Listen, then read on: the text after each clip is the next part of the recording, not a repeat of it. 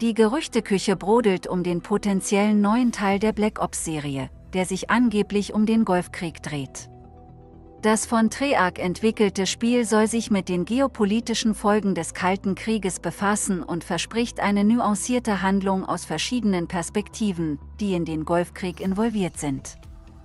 Der geplante Titel scheint sich von der futuristischen Technologie zu entfernen, die einige der letzten COD-Spiele bevorzugt haben, und konzentriert sich stattdessen auf traditionelle militärische Kämpfe und klassische Black Ops-Gadgets.